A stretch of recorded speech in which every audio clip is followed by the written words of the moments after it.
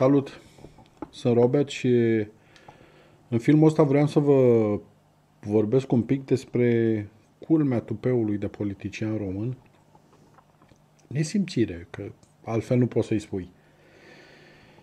Și mai nasol e că nesimțirea asta a ajuns să fie făcută pe față așa și fără ocolișuri, fără ascunzișuri, pentru că da, n-are cine să ia atitudine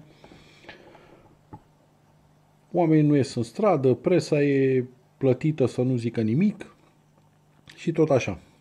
Domnul ministru al transporturilor, săptămâna asta, călare pe un Touareg furios, o mașină de aia germană, îi depășea pe unii care stăteau la coadă pe o șosea, el îi depășea pe linie continuă, că el nu putea să stea la coadă.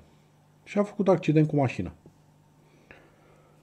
Asta e culmea tupeului și culmea nesimțirii. Tu, ministrul transporturilor, îi depășești pe aia care stau la coadă că nu au autostrăzi pe care să circule, că de-aia stau la coadă ca proștii, că sunt multe mașini pe drumurile astea naționale, drumuri naționale care nu se transformă în autostrăzi de mulți, mulți, mulți ani și tu, nesimțitul, vii și depășești pe linie continuă, fără să spese de niciun fel de reguli, de circulație, fără să spese de proștii alalți care stau la coadă și pe care dacă oprește miliția așa cum ar fi trebuit să te oprească pe tine înainte, dar probabil că dacă te oprea, te saluta și te lăsa să treci mai departe, că așa se întâmplă când ești ministru, ministru călare pe toareg.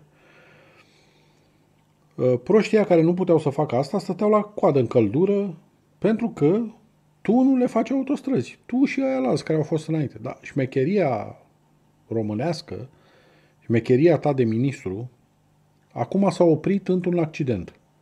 Și probabil că dacă nu se întâmpla accidentul ăla, nu aflam nici noi prostimea despre șmecheria ta de ministru.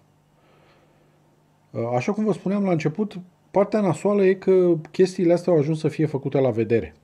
Adică au ajuns să nu le mai pasă de ceea ce spune lumea, să nu le mai pasă de să nu le mai pese de ceea ce se întâmplă, Uh, nu are niciun fel de importanță dacă se află chestia asta, că oricum avem presa plătită, presa noastră și nu o să afle foarte multă lume și asta nu o să conteze foarte mult.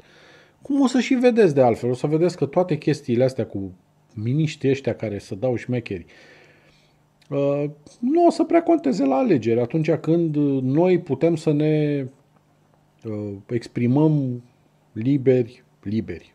Și asta e o cutum așa, pentru că noi nu ne mai exprimăm liber, că contează cine numără voturile, nu cine votează. Ori așa cum vedeți în ultima perioadă la structurile astea de forță, la serviciile secrete, se tot măresc bugetele. De ce? Că trebuie să fie de partea lor care trebuie. Și trebuie să numere așa cum trebuie. Sau să facă tot felul de alte șmecherii, da?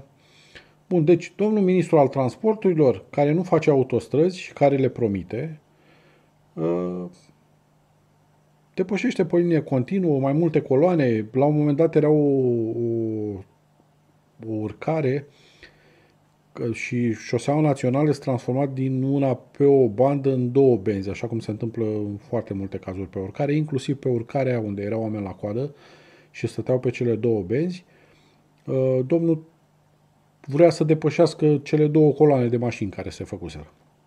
Bun, soarta l-a pedepsit cine crede în astfel de chestii și a făcut accident și în felul ăsta am aflat și noi prostimea de treaba asta. Dar sunt foarte, foarte, foarte multe chestii de care noi prostimea nu aflăm, că nu avem cum. Adică chestii de-astea șmecherești, făcute așa la șmechereală că suntem miniștri și suntem un partidul care trebuie și chiar dacă suntem opriți, legea nu contează că se facă ea care trebuie să aplice legea, că nu văd.